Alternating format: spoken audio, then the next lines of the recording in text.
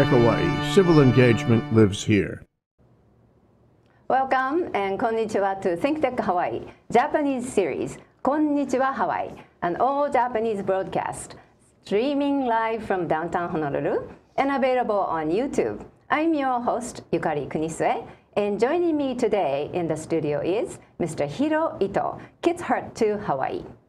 皆さんこんにちは、 えーホノルルのダウンタウンから ThinkTech ハワイが日本語でお届けするこんにちはハワイホストの国瀬ゆかりです。今日第4回目の放送は Kids Heart to Hawaii のファウンダーでいらっしゃって、えープログラムディレクターでいらっしゃる伊藤博さんにスタジオにおいでいただきハワイの日本人コミュニティにおける子どものトラウマ死別離別などの体験と癒しのサポートの活動についてお話を伺いたいと思います。えヒロさん今日はお忙しいところありがとうございます。どうもえーはい、ヒロさんはソーシャルウォーカーでいらっしゃるということですがまずとして、まあ、Kids Heart to Hawaii というんですから子どもたちですよね子どもたちにフォーカスをした活動に入られたのかをお話しいただけますか？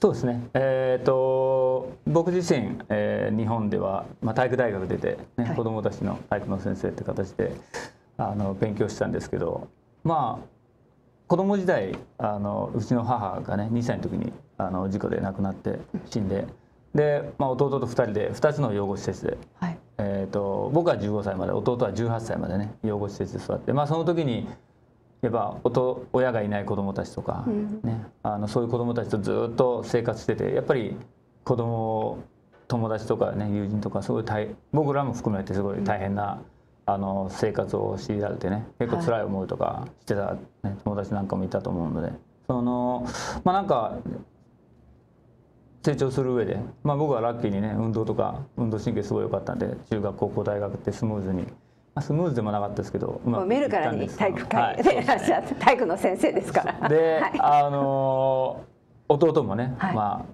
体育大学出て学校の先生。そうですね、はい。体育大学で先生になって、で僕その時にまあ体育の道に行くか。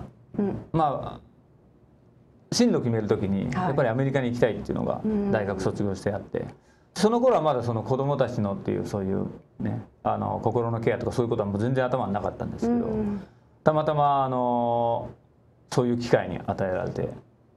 でまあ子供たちの心のケアをするってことイコールまず自分のうん。あの心のケアをはい。トラウマと向き合うということをうん。アメリカに来てあの教わったんですね。なるほど。じゃあ2歳の時にお母様を亡くされて、はい。で3歳から15歳まで、まあ、そういう施設で。そうですね。2つの養護施設。2つの養護施設で育って、はい。でその後、まああの体育を通じて野球されてたんですね。野球やってましたね。水泳とか結構何でも結構ガンガン。得意であの自分ではそんなふうにその心のケアということはその当時は考えてあもいうらっほとんどしゃらなかった。横にまあそうですね、はい。ほとんど頭になかったですね。で。アメリカに進路を決めていらした後にまあそういうことに目覚めたっていうんでしょうか。目覚めたっていうかまあそうですね。あの、うん。これからどういうふうにしていこうかなっていう時に、うん。あのそういう進路決める時に、はい。まあ、はい。社会福祉とか心理学とかね。はい。そういうのに俺なんか俺もなんかちょっとそういうのね。合ってるかも。合ってるかななんて思い始めて、はい。それでたまたまそういうあの機会に恵まれてそういうね先生とか大学の先生とかあったりとかして。でも体育のの先生をしていらっしゃるんでしたらはい多分あの子どもたちとの交流とかっていうのはもう慣れていらっしゃる。えっとね、体育の先生自体はあのしなかったんですけどもう大学のあの degree 取って、はいで教員免許取って、はい。もうすぐアメリカ来ちゃったので。ああなるほどなるほど。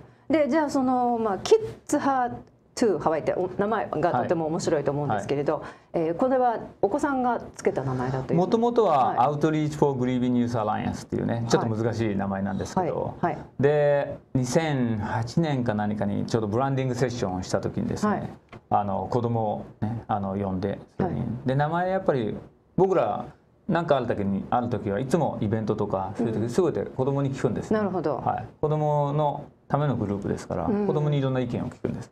でその時も同じで名前を決める時にどういう名前がいいってでその中にキッズ・アット・ハワイ。キッズ・アットですね、うん。ハワイは後から付け足したので。そので kids hurt too っていうのはちょっと日本語で言いにくいんですけど、えっとどういうふうに訳してらっしゃいます？子供も傷ついてるんだよみたいな子感じです供もかね傷ついているんだ大よ人は例えばセラピー行ったりカウンセリング行ったり、アメリカは。はいそういう場がやっぱり結構あるんですね。お酒飲みに来て気を紛らわしたりとか、はい。ね。そういうことができるんです、子供は大人が安全な場所を提供してあげないと、うん。そういう安全な大人が周りにいないと、そういうことをあのシェアしたりプロセスすることができないんですよね。なるほど、はいそうすると今の話だとやっぱ子どものそのトラウマとか、はい。そういった傷ついた心の癒し方、それから寄り添い方っていうのは大人とはちょっと違うのかな？そうですね。まあ、同じ面ももちろんあるでしょうけれど、それはどうなんでしょうか？やっぱりちょっと違えてまず大人は、はい。あのコミュニケーションのスタイルが言葉を使いますよね、はい。でもあのいろんな単語数もすごい多いので自分の感情を表現したり、ん。ね、そういうことができます。はい。だけど子どものあのメインのコミュニケーションというのは、まあお話しすることもそうなんですけど、特に小さければ小さいほど、はい。あのなんていうか振る舞いとか。はいはいはい。そういった行動ですね。そうです。行動を通して表現するんですよ、ん。だからそれがもしかしたらバスケットボールをしたりとか死んだお母さんに,、はい。に教わったのがバスケットボールだったとか、はい。あとは例えば音楽で、ねうん。あの亡くなったお父さんがミュージシャンだったとか、はい。絵を描いたりとかいボールを蹴ったり、ねあとは人ポーンって殴っちゃったりとか、なるほど。はい、そういう形に行動に出ちゃう。そですね。行動で、まあ、表すことがすごい。だから子供に僕らがあのキッズ・アット・ハワイで、いやあのグループをする時はあの、まあ、安全な、ね場を設定してであの子供たちに話すことは求めないんです。あ子供たちにまずすることはコンテクスト設定って文脈設定をするんですけど、はい。今日みんなここに集まってくれたまあ子供たちはみんなお父さんやお母さんや家族の誰かとあの死別なりね、そういったことをあの通して、あのまあそういった体験をしてるからここに集まってみんなで支援ねサポートし合うために来てるんだよね、ってそれが簡単に言うとスイッチなんですよねグリーフのスイッチ。あなるほど。だけど、まあはい。来る前に子どもたちはキッズハットに来るっていう段階で、ある程度は分かってる。もう,、あのもうグリーフ僕らグリーフねあの喪失体験によるあの死別とか喪失体験っていうのは、あのエネルギーっていうふうに考えてるんですよ。体の中にある。エネルギー。エネルギー。はい。だからそのエネルギーを僕らがすることはまず安全な環境を作ってあげて、安全なファシリテーあの大人、それがファシリテーターっていうキッズアットでボランティアするにも4日間のトレーニングを受けなくちゃいけないんですはいはいそして、えー、とそれを終わって、あのまあぼあのトレーニングがしっかり終わった方は今度ファシリテーターになる、まあ、インタビューをするんですけど、はい、でヒロさんもファシリテーターをなさるんですか？僕はします、はい。僕はします、うん。僕はスーパーバイズとグループをでそうするとお子んさんたちっていうのはやっぱりあのその話すことじゃあどう感じますか？なんていうことはしそうないで。いうことは質問がけはしますけど、はい。質問してはい。も答えは別にあの、あの得るために質問するのではなくてエネルギーを活性化するために質問がけをする。エネルギーを活性化する、っていうと傷ついた心っていうのはある程度こうなんかエネルギーを蓄積してるような感じなんでしょうか。うん。よくあのこちらで act outとか言いますよね。はいはい。学校の先生がどうもこの人は何かあった、はい。 acting out とかね。 acting out。ねはい。はい。それ簡単に言うとそのエネルギギーがどどこに行っていいかわからないからなだから Kids Hurt Too でははい。 volcano room とか音楽できたり外で遊んだりバスケットボールできたり。でもそれは大きなエネルギーを持ってる子どもたち。はい。はい。だから大きなエネルギーを持ってる子どもたちははい。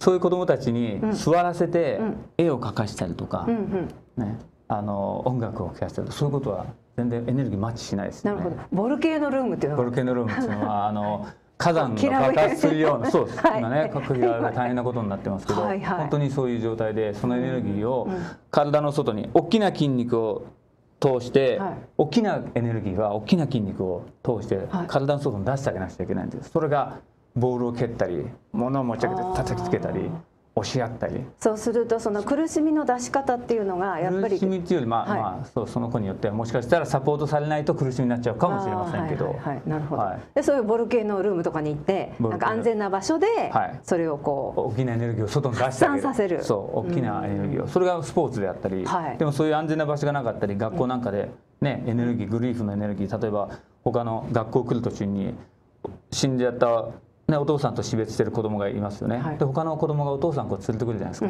お父さんと一緒うに。うんでそれを見た時にやっぱエネルギー入っちゃうんですよね。どうしても。そうですよすると子供の。ねどうして僕にはいないんだろうっていうふうにでお父さんのこと考えたりしちゃうと、授業中だとね学校はそういうあん死別体験とかをプロセスするコンテクスト文脈設定じゃないから、はい学校の私の話ちゃんと聞いてきなさいはい。ぼーっとしてちゃいけませんみたいな。そう。でもその子はそういうグリーフのエネルギースイッチがオンに入っちゃってるので。なるほどな。るほど例えばお父さんって話をおあの文脈の中にお父さんは今日どうしてるでしょうかとね、はいはい。ありますよね。父の日、はい。母の日クリスマスの時はいありますとかそうそういう時に、うん。そういう場じゃないので、うん。そういう子どもたちは僕らみたいな子いつもトラブってましたね。先の頃。そうするとアクティビティとしては今おっしゃったスポーツとか、それから音楽とかもあるんですか？ウクレレ弾いたりとかね。それはもう僕らがこうしろああしろとは言わないです。まずはグリあのオープニングサークルっていうのをして、はい。まずすることは、うん。あの自分の名前、うん。年齢、うん。まあ、例えば学校に行ってるとか、うん。どこの学校とか、あとは、まあ、死別体験してる子どものグループだったら、まあ明日ね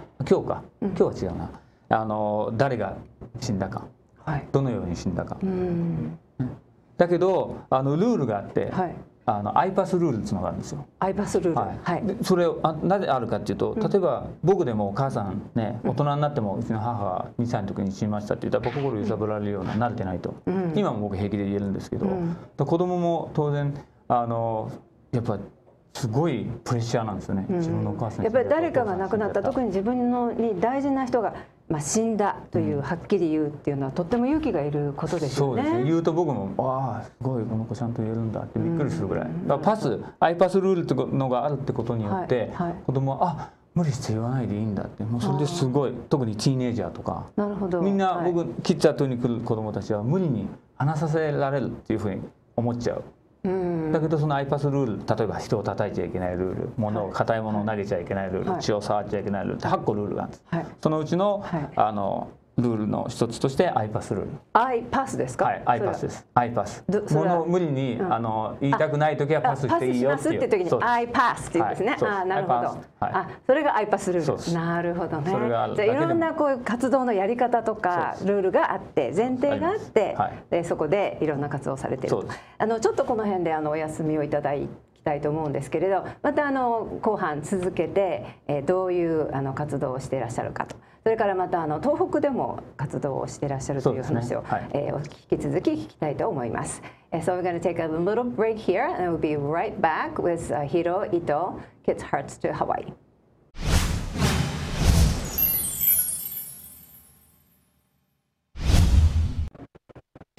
Hi, I'm Ethan Allen, your host on Pacific Partnerships in Education here on ThinkTech Hawaii. Every other week, Tuesdays at 3 p.m., we have guests on and talk about the fascinating, interesting, and unique partnerships in education that occur across the Pacific Islands with Hawaii, Micronesia, the Marshall Islands, Palau, Guam, all these places have really rich local education programs going on, and the exchange among and between these programs is a wealth of great information, helping the islands all learn uh, how to survive and thrive in our ever changing world. I hope you'll join us on Pacific Partnerships in Education. Hi, my name is Bill Sharp, host of Asian Review, coming to you from Honolulu, Hawaii, right here in the center of the Pacific Ocean. Asian Review is the oldest of the 35 or so shows um, uh, broadcast by ThinkTech Hawaii. We've been in production since 2009. Our goal is to provide you, the viewer, with information, breaking information about events in Asia. Asia being anything from Hawaii west to Pakistan, from the Russian uh, Far East, south to Australia and New Zealand. We hope to see you every Monday afternoon at 5 p.m. We are back and we are live. I am your host, Ikari Kunisue, and this is Konnichiwa Hawaii, talking with Hiro Ito, pro, uh, Program Director of Kids Heart to Hawaii. ライブでお届けしております。日本語 ThinkTech ハワイ。こんにちはハワイ。今日は Kids Heart to Hawaii のプログラムディレクターでいらっしゃって、ファウンダーでもある伊藤博さんに子どものグリーフとトラウマに寄り添う活動についてお話を、引き続き伺いたいと思います。えーそれでさっきあのちょっと話し始めたんです。が、え東北の地震の後は、あのそちらの方の活動もされていたそうですね。過去6年5年ぐらいあの多い時は2ヶ月に1回ぐらいはい。行って実際にまあ東北の,、はい。あのまあ人たちのまずまあまあ子供がメインななないんですけどやっぱりその子供をサポートするのは大人なわけで、そういう大人とか、そういった方たちの、まあ、トラウマとかグリーフとかそういったもののトレーニング、そういう啓蒙活動みたいなこともはい。続けて、あのまあそれが最初はメインでしたよね。でもでヒロさんが実際に行かれたんですか？あもう行ってずっと僕がルツの方も行かれたんですか？えっ、とね行ったのはシンティア僕ののあ奥様で。はい。はいトレーニングディレクターで、まあ彼女がねまあもともとダギーセンターって僕らダギーセンターにもともといたんです。そこはい。のトレーニングディレクターだったので神戸の震災からも日本に行ってたんですよ彼女。あそうなんですね。だから日本では結構名前がね、あのはい出てて、はい。であのそちら地元の人たちをトレーニング、あと地元の地元というか日本でそういう活動をしている、あの団体をトレーニングしてトレーニングを受けてもらって実際に子どもたちとどのように関わっていくか、でかあ今東北の場合はあの死別だけじゃなくて喪失体験物がなくなったとかあと離別体験、はい。ね、あとはトラウマがすごい絡んでるのでトラウマの場合もすぐに介入しなくちゃいけないのでそういった面でやっぱりグリーフプラストラウマのそのまあ啓蒙活動っていうかねでもう少し幅を広げたみたいもう本当にな形ですね。もうすごい大きなね、あの大変なお仕事ですよね。そうですね、はい。っていうことはそのまあアメリカのものを持って行ってって言ったらいいんでしょうかね。でもね。ここはハワイのやり方っていうのがちょっとはい。またユニークであるんじゃないかと思うんです、はいはい。まあ、そそのハワイのやり方と、はい。そのダギーセンターともともとのうんやり方と、えっとね。が日本でやられたやり方ってなんかちょっと違いっていうのはあるんですか、えー、とダギーセンターは、はい。えー、と僕らが働いてたダギーセンターは死別体験をした子どもたち。そのもともとのところです。ね、オレゴンオレゴンですね、はい。はい。あるところこはまあ世界ではそういうことを始めたね、はい。最初の団体で、まあ、今キッズアットゥはあのマイケル・モアっていうね、あの新しい ED の下で、ねはい。あのやってるんですけど。今ハワイがですね。はいはい。であのシンシンツィアが、あと僕は養護施設ねフォスターケアで育ってたので死別体験以以上以外にも、例えば離別とか、はい。ね、あとは離婚はい。あとはあの僕らフォスターケアとかにいたのでそういったケアの子どもたち、やっぱトラウマ体験すごいされてるので、はい。そういった子どもたちのケアもすごい必要だっていうのはもともとずっと感じてたので、キッズアットを立ち上げた時にすぐにやっぱそういう子どもたちもサポートしようっていう、そこがまず大きな違いですよね。なるほど。ああと日本でやられてる。日本ではやっぱりあのすごいいろんなところで、はい。ね、あの活動が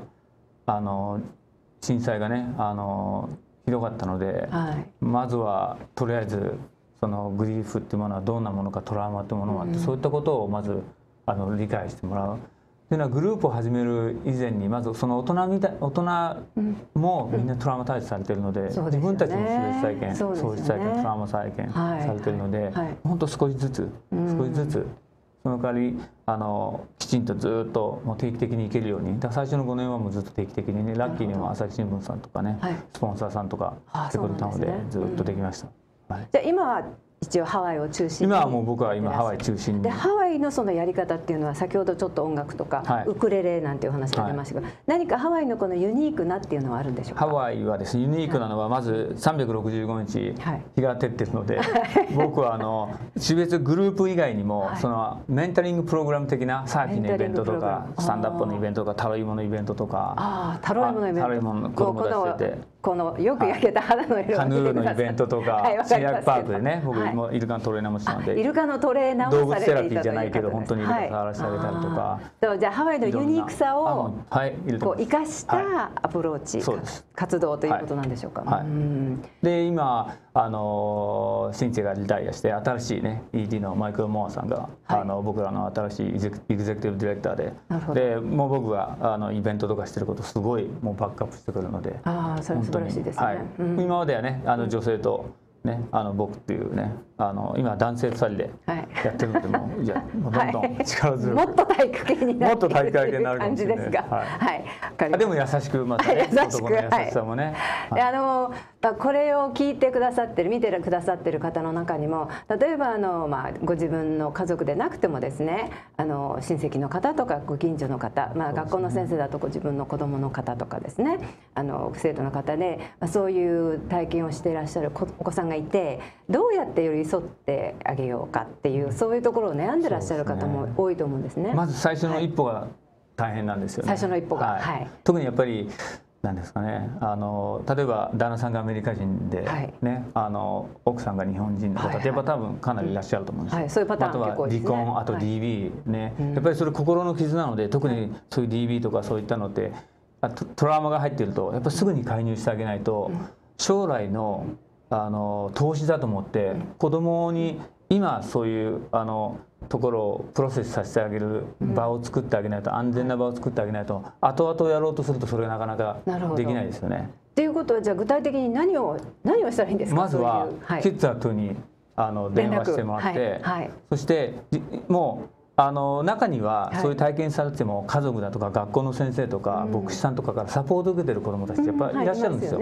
そういう子どもたちははもうそれでサポートを受けている場合は結構大丈夫なケースもやっぱりあるんですよね。はい。はいただそういうサポートがなかったり孤立化しちゃうのが一番大切な大変なことで、はい。だからもし子供がそういうの嫌だって言ったらとりあえず1回か2回は参加させてみて、うん。もう本当に将来の子供の投資だと思って。なるほど。後々ねあの複雑化しないためにもそうやっぱりあのご家族を亡くしたりすると、まあ、例えばそのご主人を亡くされた例を挙げますと、奥様もすごく傷ついてるわけですよね。です。で子供もすごく傷ついてる、で子供にまで目がいかないっていうかっていうかグリーフの仕方が違うので、ね、あそうですよね。だからそういう場合はそのヒロさんのような方がいらっしゃるところにあとはうちにいるファシリテーターみんなトレーニングを受けてるのでみんなやっぱりピアサポートして同じような体験した子どもたち、人たちの集まりなので、あじゃあその子供たちが大きくなってファシリテーターにあってるようなますうちはそういう子どもちたちがやっぱりいるんですよね。今何歳ぐらいの人がいるんですか？今あの16歳になるとグループを参加してて16歳になると、はい。まあ、16歳からファシリテーターのトレーニングを受けられるんですはい、高校生ですね。そうです高校生から。うん。でトレーニング4日間終えれば、ファシリテーターとして帰ってきてくれなるだからティーネイ子供の時にキッズアットはい。で参加してて、あのティーネイジャーのグループに行って、うんうんうんそれでトレーニングを受けて、ファシリテーターになってくる子供たちがそうすると子供にとってはあの、まあ、おじさんおばさんじゃなくてお兄ちゃんあお姉ちゃんみたいな感じですね。あと日本語はどうなんでしょう？日日本語はあの日本語のファシリテーターもいます。いますただ、はい。大人のグループっていうとやっぱりどうしても英語が主体になっちゃうので、そこがねなかなかだから子どものグループと並行して、はい。大人のグループも、はい。やっぱり子どものあのあの心の安定っていうのは大人がいかにやっぱりサポートを受けてて安定してるかっていうのをすごいもう比例しちゃうんですよね。ねうんだからやっぱ親御さんがやっぱりすごいあのがっかりしちゃって当然ね大変なあうん。の事件ですから、はい。出来事ですから、はい。そういう状態になっててやっぱ子どももやっぱりああなってますよね。エネルギーがこういう。ふうに 無理にね頑張れとかそういうことはないんですけど、グループに子供も参加して親も親御さんも参加することによって、あのお互いにこうやってサポートし合えなるほど。じゃあ Kids る。Heart 2は別に子供だけじゃなくて、はい。親も一緒にそれをあもう親親御さんも来る。もうなるほど、ね、そうです。そういうことなんです、はい。あとはどうでしょう？例えば自分でこういうあの団体でボランティア今先ほど4日間4日間ですか？4日間。はい。のあのトレーニングをしなくてはいけないと、まあ、はい。かなりインテンシブだと思いますけど、そうですね。いうところでボランティアをしてみたいとおっしゃるあの考えていらっしゃる方はどういうふあうなこともうぜひ僕にあの連絡していただければ、僕日本語わかるので、はい。日本語のあのテキストもちゃんと作ってありますあ。そうですか。ぜひはい。ぜひ日本語で、はい。で今日はあのここにいろいろ何か持ってきてくださってそうですね。あの Kids Hurt Too Hawaii の下で、前のねあの executive director のパトリアさんってねい。らっしゃったんですけど、今はマイケル・モアさんなんですけど、はい。はい。その方と一緒に僕とかね、はい。あの Kids Hurt Too Hawaii の下で、はい。前は Hawaii Foster Youth Coalition ってね foster care の子どもたちをケアしたんですけど、はい。そのそこをですね、あの drop-in center とかだったんですけど今度お店にしちゃおうって。でストアがある。ストア、はい。 Kids Hurt Too Hawaii の下で、ハイライジングっていうねこういうハワイ、ハワイが上がるこういうの売ってるんですね。あはい。もう本当のブティックです。いろんな方のサポートを受けてあじゃあ日本からあの例えばツアリツーでツアリストで来てある方も、あもう旅行者で来た方もぜひぜひ、はい、あのじゃあワイキキから直行みたいな。直行でも来てあの出雲大社の裏にあります。なるほど。じゃあチャイナタウンにいらした方ははい、ぜひぜひ。さんを目指して、はい。帽子も売ってるんですね。帽子もあります、飲み物とかもコーヒーとかもあります、はい、帽子は何て書いてあるんですか？これはハイライジングです。ハイライズって、はい。それがヒキッズハトゥーのなんかシンボルなんです違います。キッズアットはキッズアットハワイです、これはハイライジングっていうもうブティックです。これも元僕が9歳から知ってるフォスターケアにいた子供が、い。今19歳になったんですけど、はい。その建て替えをしてる時に自分で書き始めてあまりにもかっこいいからあまりにもかっこいいのではい。これをじゃあちょっとあの許可得てあの送ってなんですか？あのデザイナーのこういうグッズ人にを作ったということです、ね、これがお店の名前になっちゃって。はい、こちらに持ってきてこれはいあの日本で僕が世田谷あのグリーフセタグリーフセポーツ世田谷のところで講演した時に、はい。はい僕のところは日本語とい。っぱい写真が載ってます、はい。僕のストーリーとはい。物語と、なぜ個人で育った僕みたいな人間がハワイと、ねハワイでアメリカでこういうグリーフワーカーとして、ねあのやってるか。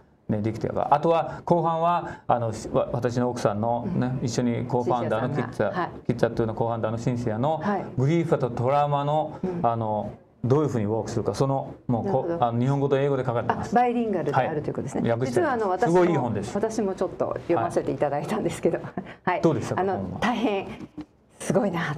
やっぱりこれだけあのご自分のことをちゃんとですねあの言っていただいてそうするとまあ体験をされた方にはとってもすごく心に響くんじゃないかなと思いました。はい。あのヒロさんは。お母様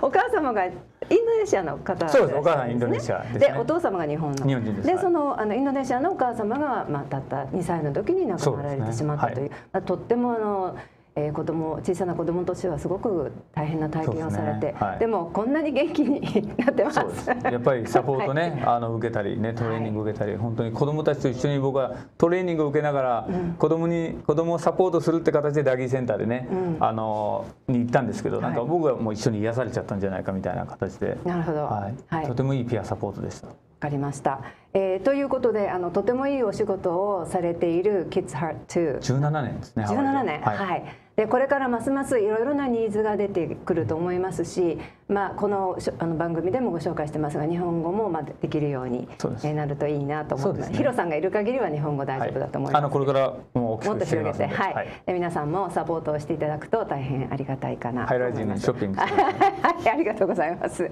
はい、えーそれではお時間が来たようで、えー今日のゲスト Kids Heart to ハワイの、えー伊藤博さんにお話を伺いました。ありがとうございました。え次回の放送はハワイの不動産業界のベテランリアルターバーンズ久美子さんをお招きします。